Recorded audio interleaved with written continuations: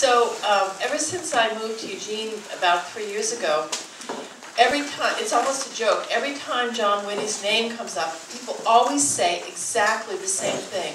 Oh, I love John Witte's poems.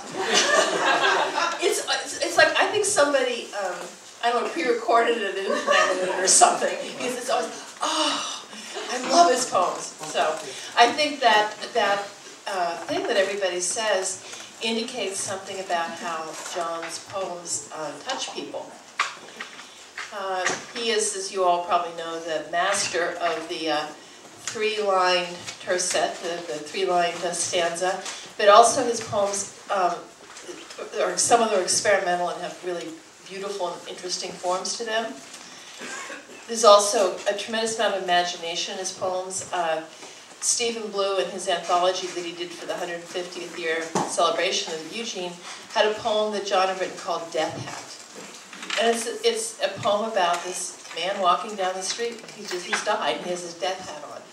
And there's so, such an imaginative leap in that idea of a death hat, and it's so true. You know, it just was, it was wonderful. Um, so, but what I like most about John's poems is that he's the master of concision. I mean, his poems are so concise. There's no fat in his poems, but at the same time, they're very lush and, and sensual. That's an interesting combination. So, I like that a lot about his work. This is what, uh, oh, John's books are, uh, he was the editor of the collected poems of Hazel Hall. His own books are Loving the Days, The Hurtling, and Second Nature's most recent book uh, was published by the University of Washington Press in 2008. This is what John wrote about his creative life. At a party once I was asked what my work was, and I answered that I was a poet. The questioner murmured, how unfortunate. I grew up in a family where feelings were not expressed. It may be that for many of us, Poetry is the antidote to an unhappy childhood. I discovered that poetry was not a vocation at all, but more like a calling or a condition. I built a writing cabin, and I've gone to it every morning for over 40 years. I couldn't stop now if I wanted to. My greatest joy, the joy missing from my childhood, is in connecting with a reader or listener in the discharge of feeling across that synapse. John Witte.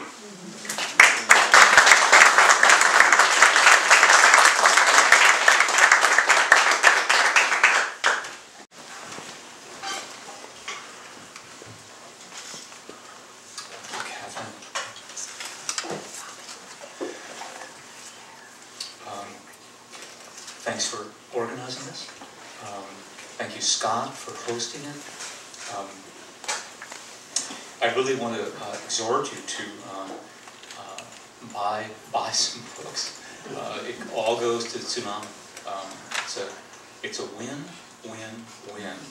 I may have missed some, but it's um, we the readers win because we have this beautiful place to this venue. Scott and Tsunami win because all the money goes to them, and and uh, you get to hear some poems and you get some good books. So, um, so do buy and uh, pass it on to the surrounding. Um, thank you also for um, remembering uh, the hungry among us. Um, a good, a good reminder. And um, as you might have guessed from that introduction, um, I, my intention is to uh, I've gathered a, a, group of poems that um, have a, a, thematic cohesion around childhood. I've been thinking a lot about my vexed childhood, trying to make sense of it. Um, so I want to begin with a, a poem from, I'll, I'll, read, by the way, just, um, just 10 poems. This is from uh, The Hurtling.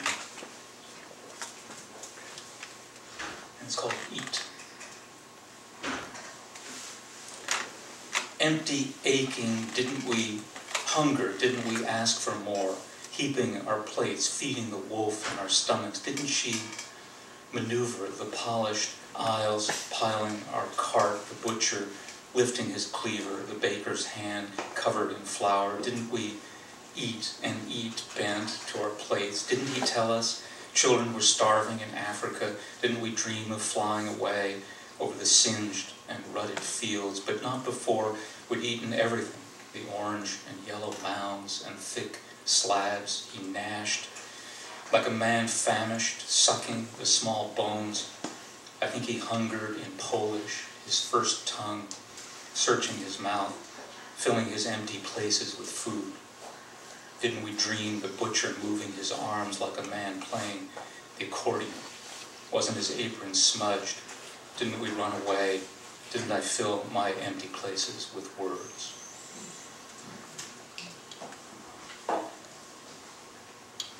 And then another um,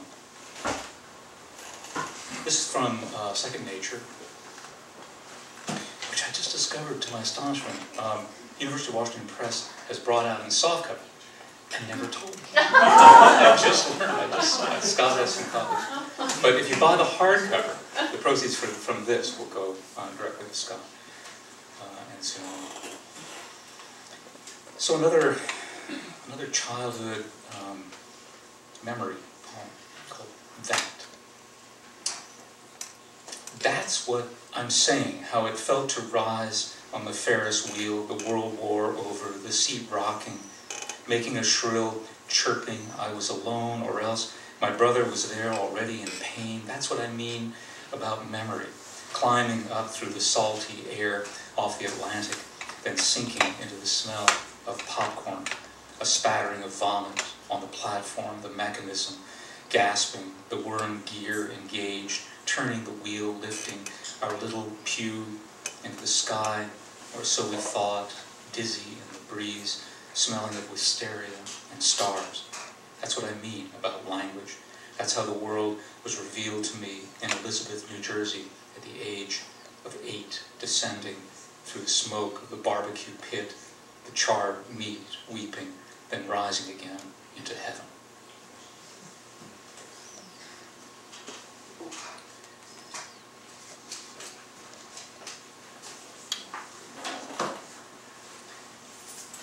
So, um, a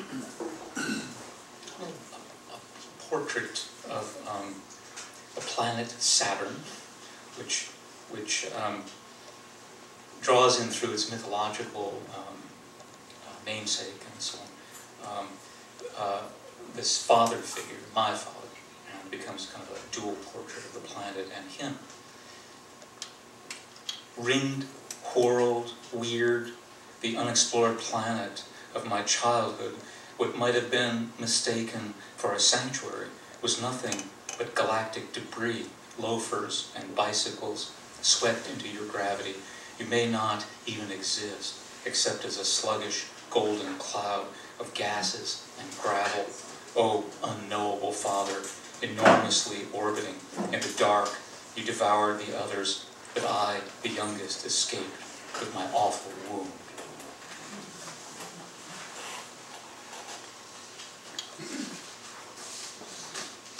Wind. This is about this, the experience we've all had, especially when you're a kid, putting your hand out the window and cupping the wind as, as the car along. Was that me, my hand cupped out the car window, catching the wind? Was that when I learned how nothing feels like something? A river surging, the memory of childhood spilling into and out of my hand, how something a lifetime racing past the swelling of joy and grief feels like nothing.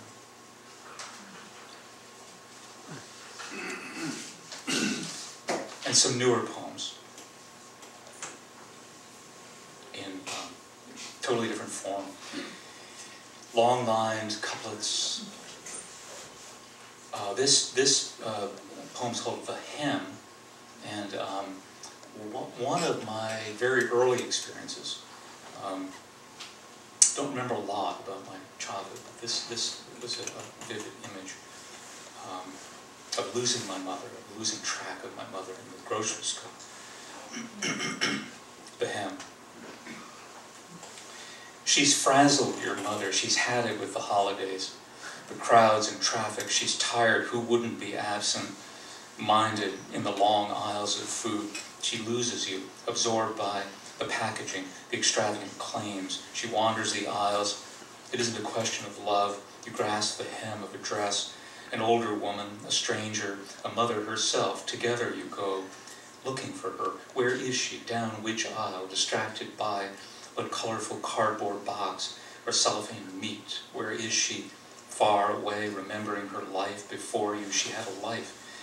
She was young and facetious. Then everything changed. Her body changed, and there you were holding the hem of her dress, the love of her life, making your way down the aisles of food.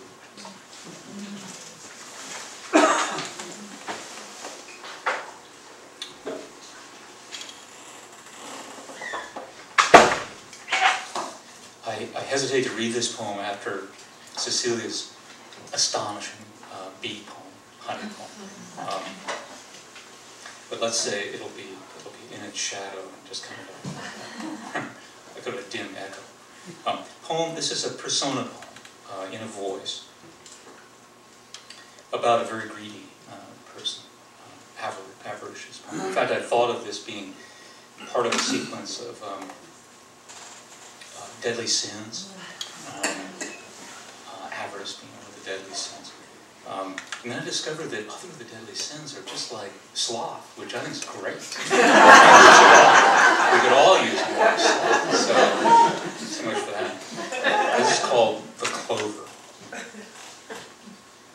If only I had more money, I'd be happy. I wouldn't be always thinking, okay, that would be nice, but where is the money coming from? I'd enter a store, I'd move the little angel of my cursor and click on this and also this. And why not? Is there a problem here? Does it appear in my dreams as excrement? Is there an absence inside? My father gone, my mother turned away, a child. My hand went down into my pants. I know, I know, people far away are starving. This isn't my problem, you see. It's all I think about, getting it, getting some more, loving the sweaty smell of it, like flesh, the smell of all the hands it's passed through, but now it's mine. I don't do eventually, I do now. I open my wallet and slide out my card saying, Here I am, world, receive me.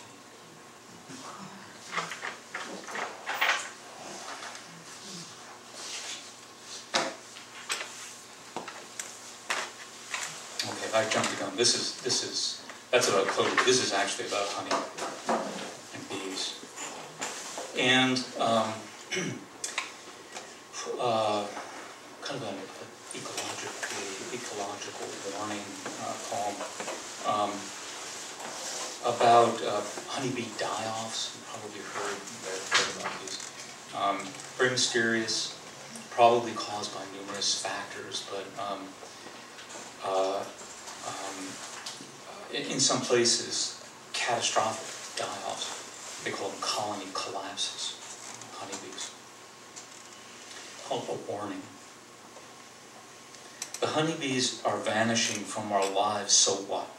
Troubles us about this dwindling more than another.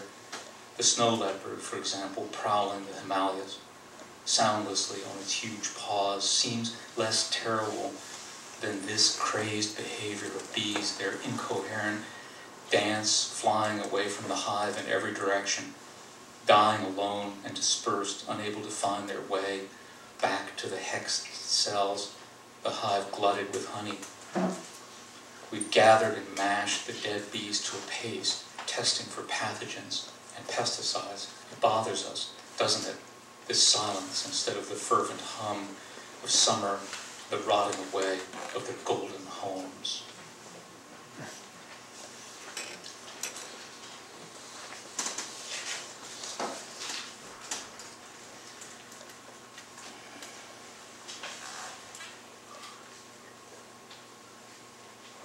This, um, um, another, another kind of oblique elegy uh, from my father, in this case, called Manatee. This is the way your life began to end with the words, I don't feel so hot.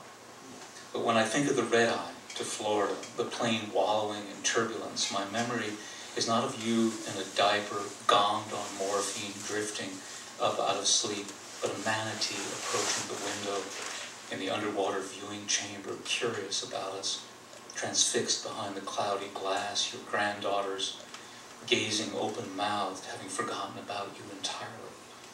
Or is this the way you now loom up in memory, whiskered, entranced in folklore, thought to have once been human?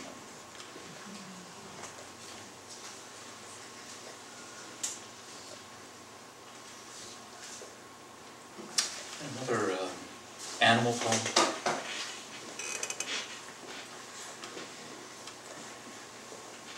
And a poem about um, beauty and, and the meaning of beauty. Um, much a much um, contested concept um, that I, I appreciate that uh, artists uh, eschew. They, they avoid it all altogether. Most modern artists, they don't go there. They don't discuss it. Um, but it concerns me. So um, this poem is called Low, as in lo and behold. Low. We come in time to know the meaning of beauty. A toad steps out of the woodpile, blotched, bunched, and warty, casting his watery eyes over the world. It isn't easy to change our way of thinking, is it? Finding beauty, even here under a log, the plump toad stepping forth with the majestic solemnity of a prince who appears at twilight, his flute-like voice calling his mate, who darts his long, sticky tongue to snatch and gulp, a bug, bloated, bow-legged, club-footed, you want ugly?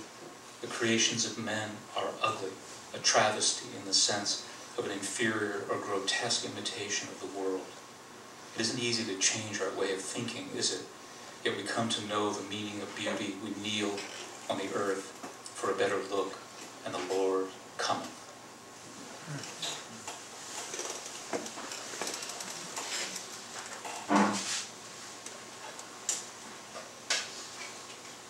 More like for dead.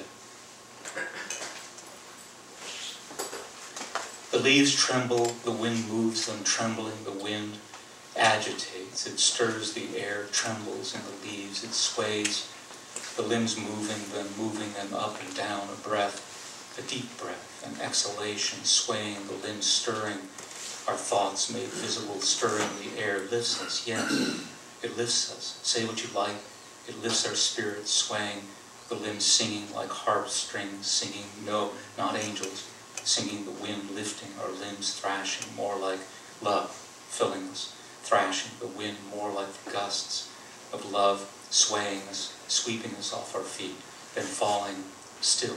Can it be? Not moving, no, not moving, falling silent, a sigh beginning again, trembling in the leaves, the limbs.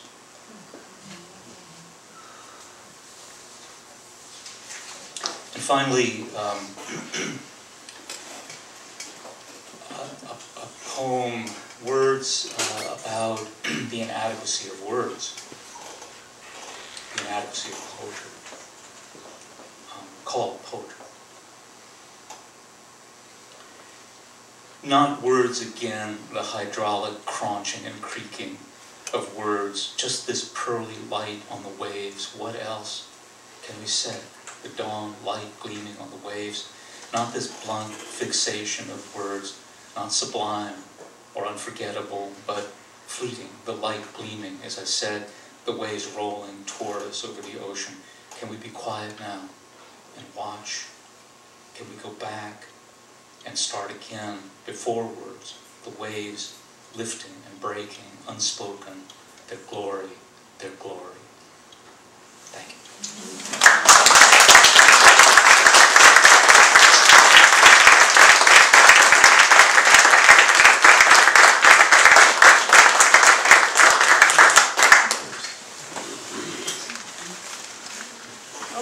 thanks everybody for coming, and don't forget uh, to uh, donate to Food for Lane County. Thanks. Thanks. Thank you, Kathryn. Yes.